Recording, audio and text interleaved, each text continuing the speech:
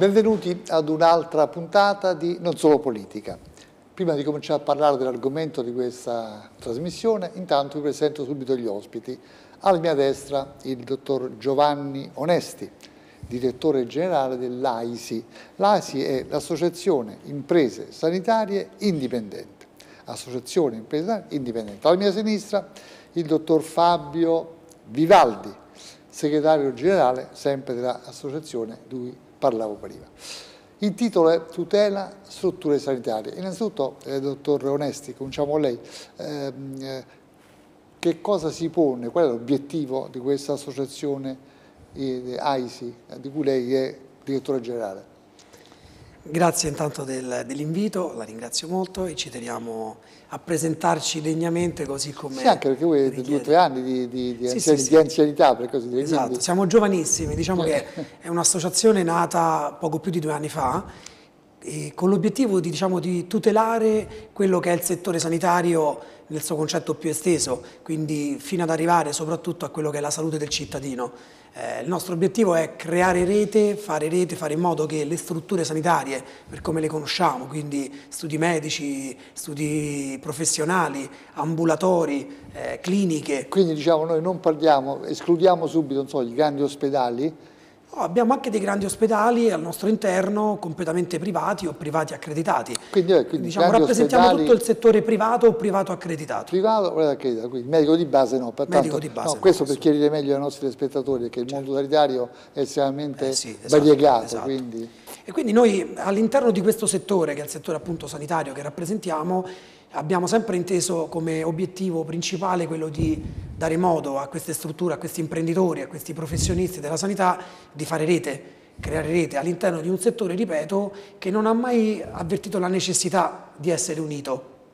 Questa necessità che non è stata mai avvertita ha portato ad oggi magari ad alcune problematiche che poi più avanti magari affronteremo, però ecco, a quel mancato riconoscimento di struttura sanitaria nei confronti, intendo soprattutto delle istituzioni, considerando che in Italia sono presenti circa 100.000 100.000 strutture ambulatoriali, cliniche private, eh, studi professionali e così via, di cui solo una piccola parte, circa 12.000, il censimento privati accreditati, quindi che significa essere in qualche modo convenzionati col classico ticket, no?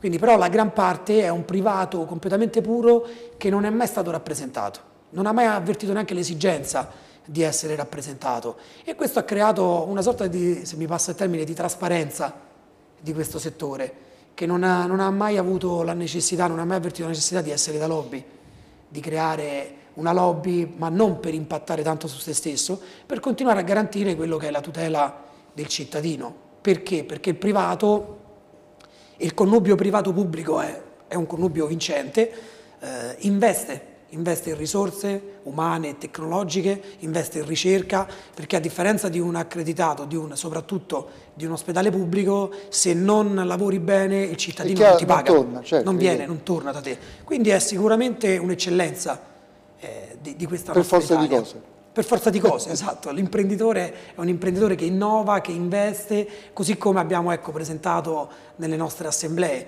Siamo nati due anni fa, ma oggi rappresentiamo comunque già più di 200 presidi che hanno avvertito la necessità di, di, di compattarsi, di fare rete. Per la prima volta tutte queste strutture sparse sul territorio italiano dire, hanno sentito l'esigenza di farsi rappresentare da una realtà al di sopra di questa situazione. Esatto, no? esatto. Esistono associazioni con le quali collaboriamo vivamente sia tramite legami di amicizia di stima lavorativa eh, e rappresentavano per lo più, rappresentano per lo più il privato accreditato ma il privato puro, noi rappresentiamo anche il privato accreditato, ma il privato puro non ha mai avvertito l'esigenza, apre la sua struttura. Chiedo scusa, tre termini chiariamo meglio. Eh, certo. Che differenza c'è fra privato puro e privato accreditato? L'accreditato ci si può andare con il ticket, tanto per intenderci, no? Corretto, quindi ha una convenzione con il sistema sanitario. Il privato puro invece uno va, paga e il discorso finisce lì, giusto? Assolutamente.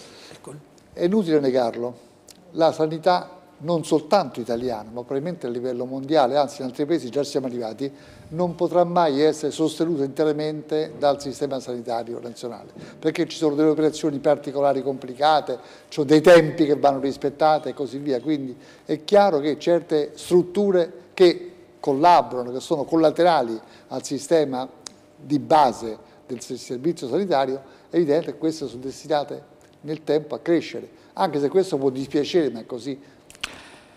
Infatti questo è indubbio, il problema della sanità sappiamo perfettamente è un problema estremamente complesso, estremamente complesso, ha creato problemi economici al nostro paese per cui deve essere sempre affrontato. È un sistema, che, scusa, sistema a macchia di leopardo, non dimentichiamoci, dal sud molti vanno, diciamo, vanno, dovrebbe essere uniforme, eh, però poi dopo in realtà è a macchia di leopardo. dottore, perché sennò altrimenti con riusciamo... altre specializzate e altre sorti. Il problema di fondo è che quella tutela che sta in capo alla nostra mission, che è la tutela delle imprese sanitarie, in qualche maniera è anche la tutela del cittadino, perché le imprese sanitarie fanno impresa, creano lavoro, creano condizioni di assoluta eccellenza, ma contemporaneamente creano anche una condizione di difesa del cittadino. E il cittadino si reca dentro queste strutture e sa che queste strutture sono assolutamente all'avanguardia. la struttura sanitaria ha fatto un'evoluzione negli ultimi 20-30 anni. Noi eravamo abituati a una struttura sanitaria pubblica o una struttura sanitaria poliambulatoriale e poi invece eravamo abituati allo studio privato. E ci sono tutta una serie di condizioni, di requisiti che adesso vengono applicati a tutte le strutture sanitarie e per questa applicazione è necessario che l'impresa sanitaria come lo studio privato in qualche maniera sia tutelata. Tuteliamo l'impresa ma tuteliamo il cittadino che poi si reca dentro l'ambulatorio. Quindi questa è una cosa importante. Eh, avete fatto un convegno proprio in questi giorni, una seconda assemblea nazionale qual è stato il punto di maggior dibattito in questo, quali sono state le risultanze più importanti per il cittadino?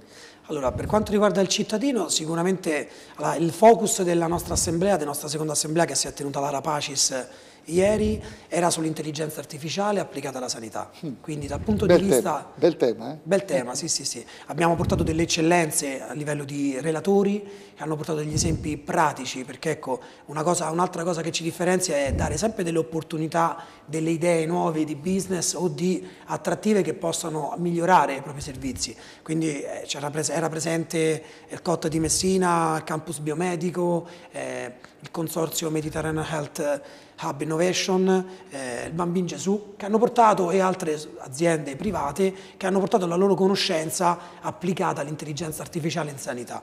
Però diciamo che invece dal punto di vista istituzionale, politico-istituzionale, il core business era, di, di, della giornata di ieri era relativo a un decreto semplificazione che si sta per trasformare in un decreto legge, eh, il nomenclatore, ma sarò brevissimo, sulle tariffe di rimborso all'ospitalità privata ma anche pubblica, ospitalità ambulatoria anche pubblico, col quale siamo arrivati con le istituzioni ad ottenere diciamo, eh, quanto era più corretto avere.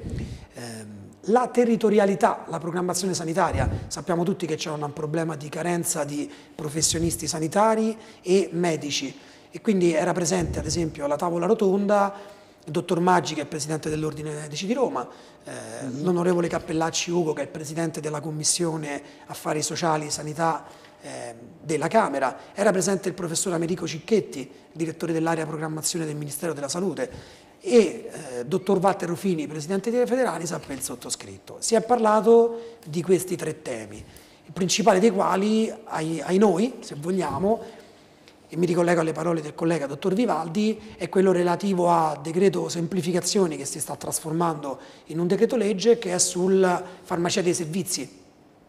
Proprio per la tutela del cittadino noi abbiamo chiesto all'onorevole Cappellacci e al professor Cicchetti e a tutta la politica stiamo chiedendo che ci sia un'equità per garantire, atta a garantire la tutela del cittadino eh, nel decreto semplificazioni, nel decreto legge, banalmente si permette alla farmacia di, eh, di, di, di fare i vaccini, somministrare i vaccini agli over certo. 12. Eh, però senza la presenza di un medico, quando all'interno di un ambulatorio, anche per fare una manovra invasiva o un semplice prelievo, è richiesta la presenza, giustamente sottolineo, del medico. Eh, si permette di eh, attivare prestazioni sanitarie, fisioterapiche sanitarie, anche che vanno oltre quello che già si fa eh, quindi oltre l'Holter, oltre un ECG, anche prestazioni cardiologiche e specialistiche, di medicina specialistica importante, però anche a distanza, dove non si sa chi è il medico che referta a distanza, senza la specializzazione questo, dei professionisti. Questo, è un punto importante del quale so che avete molto, siete molto battuti nel, nel congresso. In pratica eh, voi chiedete che ci sia una equiparazione di eh, strutture che, private che devono però rispondere a dei requisiti simili a quelli che si fa nella struttura pubblica. Come diceva giustamente il dottore, non è possibile, eh, adesso non voglio banalizzare, ma ci sono per esempio la distinzione del bagno, si, ci sono una, una, serie di novità sono, che devono essere presenti. Sono quelli che sono chiamati requisiti, eh, certo. i requisiti che si sono sviluppati negli ultimi vent'anni e che hanno fatto della struttura privata una struttura a sé stante e ben precisa. Nessuno assolutamente vuole andare a, a toccare eh, il ruolo delle farmacie, assolutamente.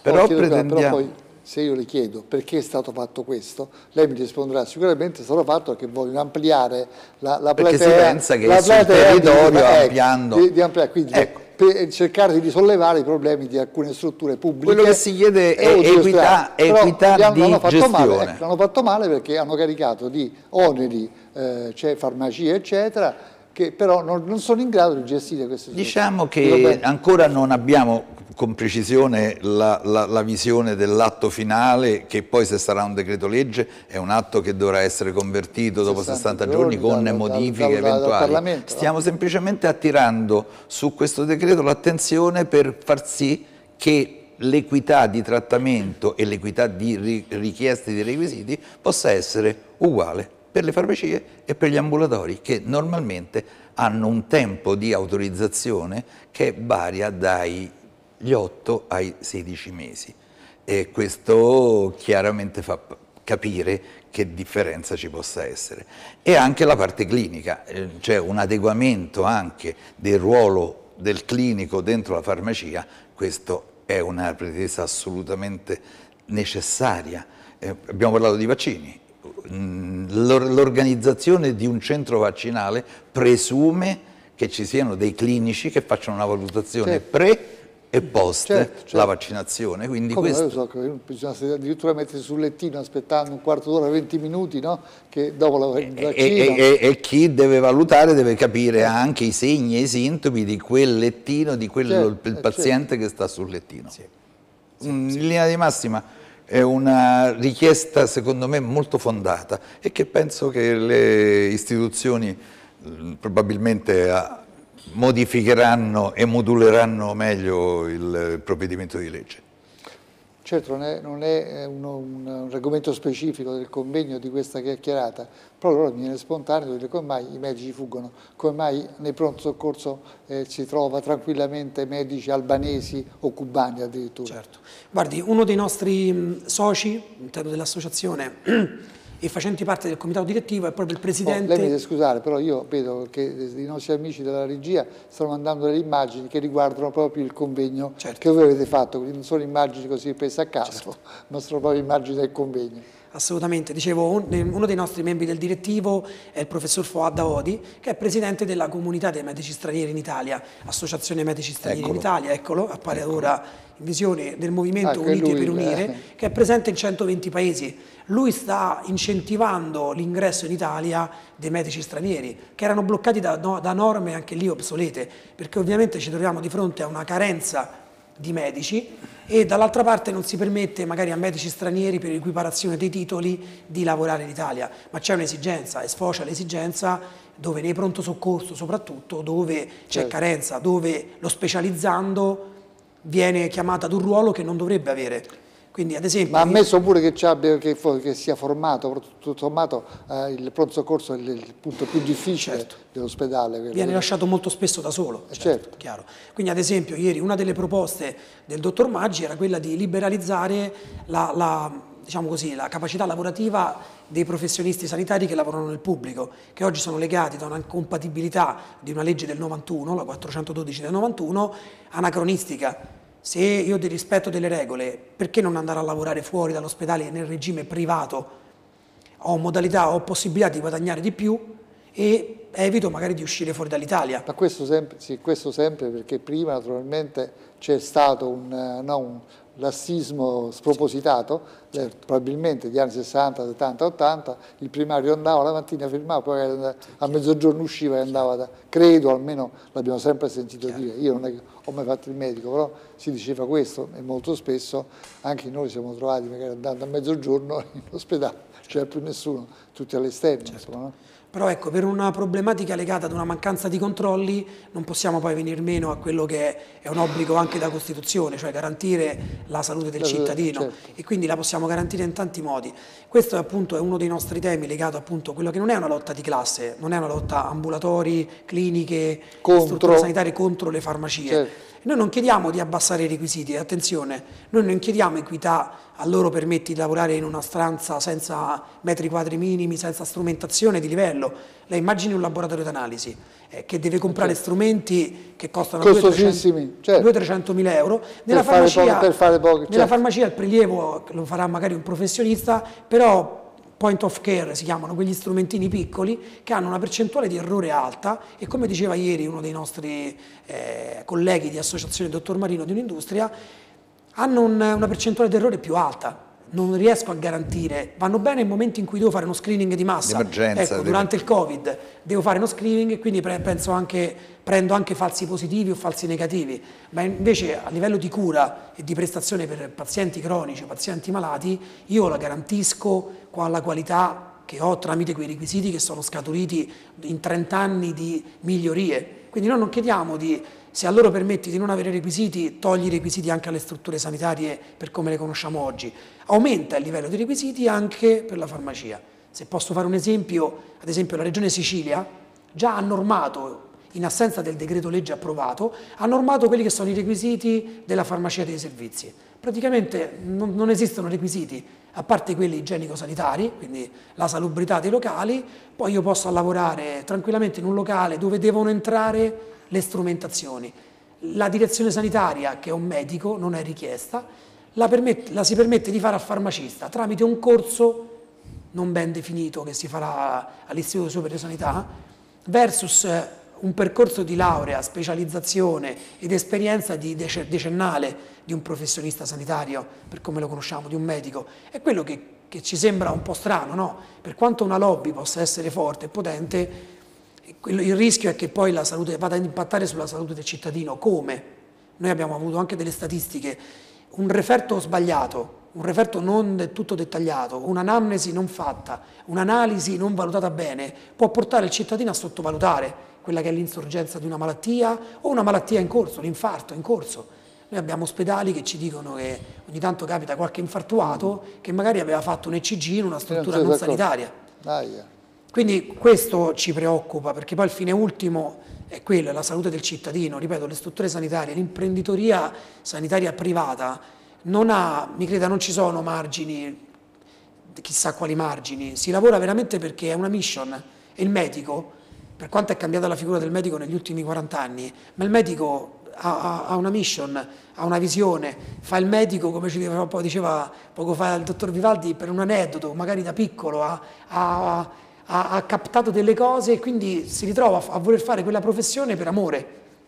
Senta, visto che ci siamo imbattuti in questo, in questo discorso, in questi giorni stanno facendo eh, i test per poter entrare all'università nel, nella facoltà di medicina. Vuole il mio parere su questo? Eh, e perciò altrimenti... Trovo che siano obsoleti.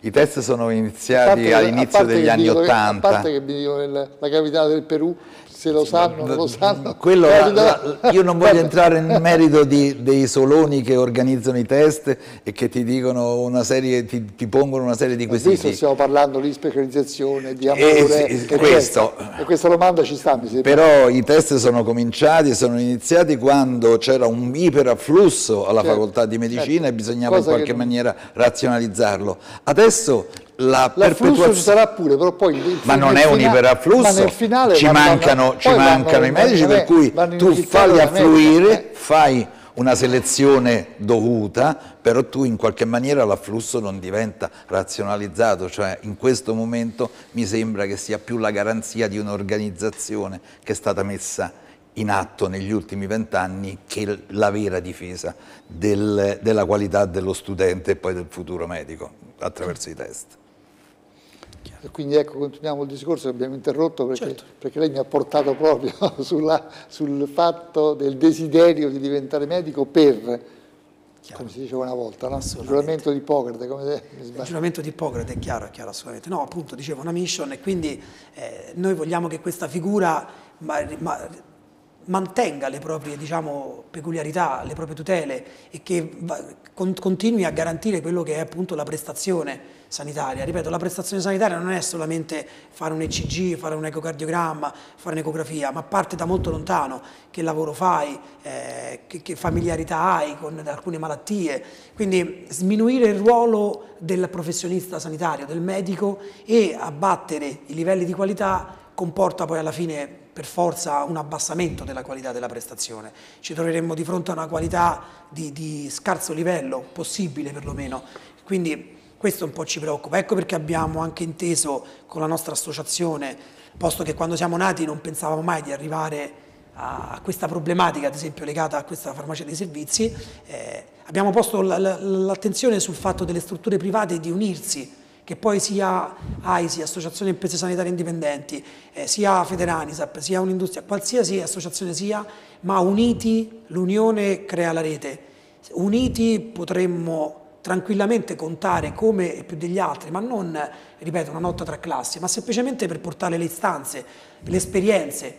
A volte si decide a livello istituzionale, non parlo di, questi, di questo caso specifico, per carità di Dio, ma si decide sulla base di dogmi o attività per le quali poi non c'è esperienza. Portare al tavolo associazioni di categoria che hanno al loro interno eh, know-how di 40 anni di, ad esempio, dottor Vivaldi, Ministero della Salute prima, ASL, direzione del territorio, eh, tramite il servizio igiene e sanità pubblica di un'ASL importante come quella, la ASL Roma 2, che è grande come molte città eh, in Italia, significa portare conoscenza, significa portare un valore aggiunto e noi arriviamo a quei tavoli, ci stiamo arrivando, ma arriviamo con fatica, perché non abbiamo quei numeri che in realtà avremmo. Ripeto, sono circa 100.000 strutture associate poco più di 10.000 e quindi noi chiediamo veramente alle strutture- alla struttura privata, all'imprenditore di capire l'importanza di unirsi e di fare rete, di creare rete, che poi di fatto è quello che noi facciamo da due anni, anche creando sinergie tra i nostri associati. Eh, noi molti associati, eh, non so, le- che fanno una, una- che si, si integrano. si integrano altri. tra loro. Quindi, in, in definitiva, dico, questa trasmissione, come anche la vostra associazione, non mira a creare una divaricazione, a, a scollarsi al sistema sanitario, mira semplicemente a far sì che tutto il sistema, nella sua interezza, poi riesca a soddisfare le esigenze del cittadino. Se per tanti motivi eh, il cittadino non può, per esempio, essere soddisfatto dal sistema ufficiale, chiamiamolo così, si può trovare o un- eh, una, una- struttura accreditata o se manca anche quella, al limite se c'è bisogno, se urgenza eccetera, si deve rivolgere a una struttura dove però devono esistere magari de- delle- anche delle tariffe preorganizzate in precedenza, concordate magari con la struttura, concordate con le convenzioni che si fanno e poi in modo tale che possa essere soddisfatta questa sua esigenza. Assolutamente sì. Eh, voglio proprio concludere in questa maniera. Noi come tipologia di approccio, eh, ne parlavamo anche prima, è una tipologia di approccio virtuosa. Noi non andiamo a cercare contenziosi, ma andiamo a cercare sinergie, sintonie e tutto questo è assolutamente necessario proprio per poter garantire poi che questa struttura privata possa offrire anche al cittadino un eh, servizio e tutta una serie di interventi che possono essere anche calmierati. Parliamo di, di servizio sociale, Certo, parliamo sì, le- che certo, il prezzo certo. sociale che sta prendendo moltissimo piede, proprio perché c'è un'esigenza del cittadino e, e- e in qualche maniera dobbiamo sopperire.